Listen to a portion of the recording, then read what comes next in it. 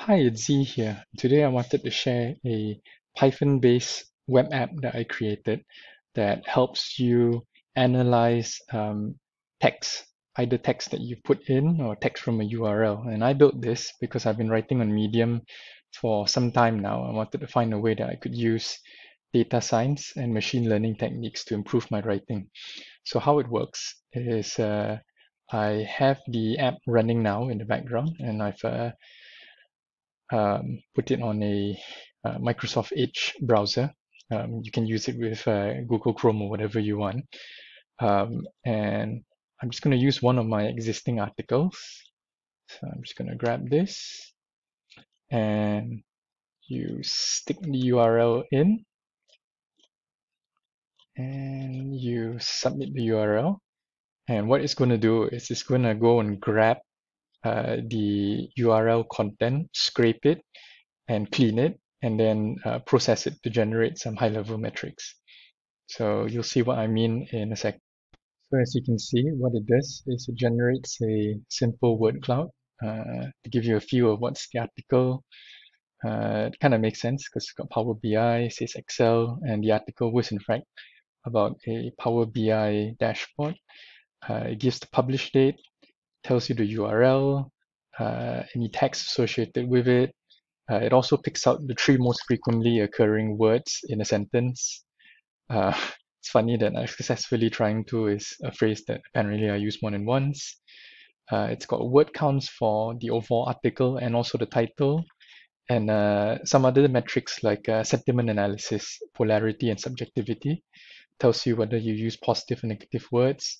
And also, I've uh, made use of some existing models that I found online um, that do personality analysis. And this is the Myers-Briggs type analysis, uh, where this is saying that uh, I am a ESTJ, apparently. Uh, it's not totally accurate. And uh, I've got something similar for um, the big five traits as well. Uh, and this is all based on keyword analysis of the text.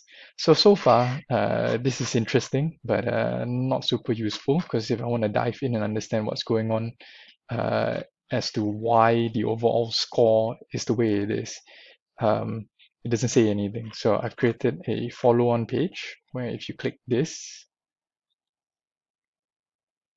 and it's thinking, it returns a uh, sentence by sentence breakdown telling you the word count, readability scores. So this is a Flesch uh, ease of reading score. Um, this is polarity and subjectivity, and uh, it goes down to a sentence by sentence level. And uh, there are also some charts at the bottom that tell you which part of the article is uh, has a high word count or uh, high polarity, so on and so forth. Um, now, um, one last bit that I also added to this is, a feature that uh, does the popularity predictions in terms of uh, estimating the number of claps that uh, the article will receive. So let's run this, see what comes out. So, uh, fortunately, this thing predicts that the article will have uh, very low number of claps. Um, and it's supposed to have 37 claps. It actually has, I think, zero. Uh, and in six months, you have 84. Um, word of caution, this model isn't perfect, but uh, I, I, think it was a uh, interesting exercise anyway to create it. Uh, and rather than just tell you a number, what I've also done is I've written some code that takes your individual article and compares it to uh, a reference data set of about 200 data science related articles that I scraped from Towards Data Science and Analytics Vidhya's um, Medium front pages. So for example, this one tells you that you've got too many words in the title count. Uh, and if you look at articles that have more than 5,000 words, uh, they typically have this sort of range. So this is really sitting at the top range. Uh, and doing this sort of box whisker plot gives you a very quick way of uh, having insight into uh, how the um, article compares against uh, other, other articles. Uh, what I've also included is a feature where you can compare two web pages. So this was the original one above, and I've just put in a random web page. Um, apologies to the author.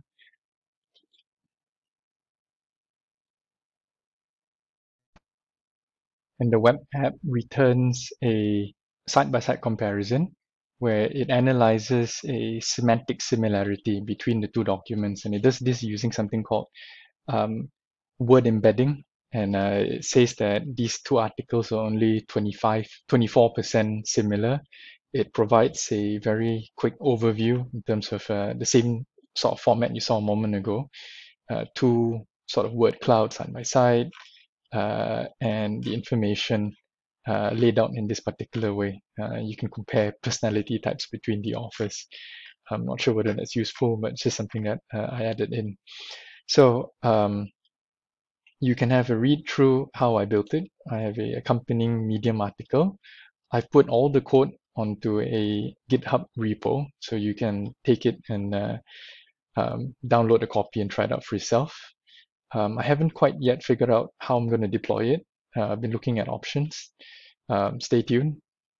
Um, and also within the same GitHub repo, uh, some of the Python notebooks that uh, explain the data set that I use to do the model training for the clap prediction, uh, both the simple linear regression, uh, but also the slightly more complicated uh, word embedding um, approach, where basically you uh, take each article and you embed it in uh, what is a very large, uh, yeah, this is it, 300 dimension um, vector and uh, try to group it that way. So look, lots more information in the article, uh, but if you want to play with the app, then you can just download it from the uh, GitHub repo and run it on your own local machine the if you don't want to read through the long article, uh, the app itself has a help section or an about section actually, uh, where you can find out more details around the various metrics, uh, also a bit around the data set and the models.